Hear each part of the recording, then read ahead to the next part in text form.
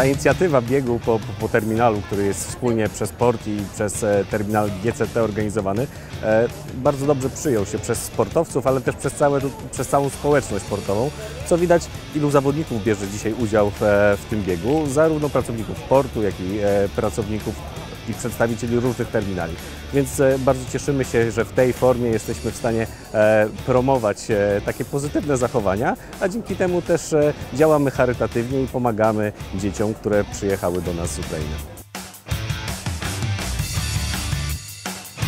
Pierwsza edycja zakończyła się bardzo dużym sukcesem.